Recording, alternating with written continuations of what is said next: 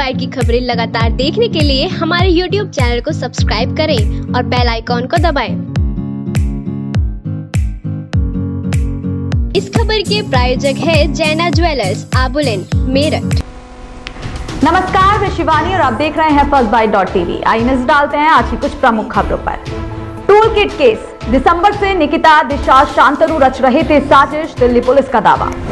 Delhi police के सूत्रों का कहना है कि निकिता दिशा शांतनु समेत कई लोग दिसंबर 2020 के पहले सप्ताह से पुनित के माध्यम से पोएटिक फाउंडेशन के साथ सक्रिय रूप से साजिश रच रहे थे।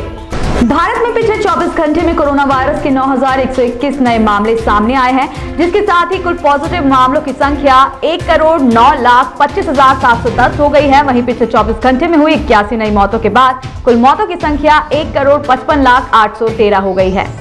बसंत पंचमी पर रामलला को पहनाई जाएगी खादी की सुंदर पोशाक। बसंत पंचमी के मौके पर अयोध्या में रामलला को खादी से बनी पोशाक पहनाई जाएगी। इस पोशाक को सीएम योगी आदित्यनाथ को सौंपा गया है।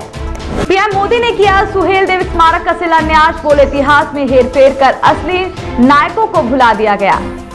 प्रधानमंत्री नरेंद्र मोदी ने मंगलवार को उत्तर प्रदेश के बहराइच में महाराजा सुहेल देव के स्मारक का शिलान्यास किया। इस दौरान कार्यक्रम में यूपी के मुख्यमंत्री योगी आदित्यनाथ भी मौजूद रहे।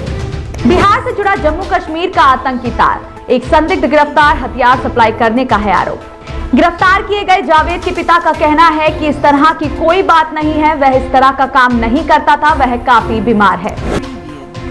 आज के लिए बस इतना ही। देखते रहिए फ़र्स्ट बाइट डॉट टीवी अगर आपको हमारी वीडियो अच्छी लगी हो तो प्लीज़ हमारे चैनल को सब्सक्राइब करना ना भूलें। नमस्कार।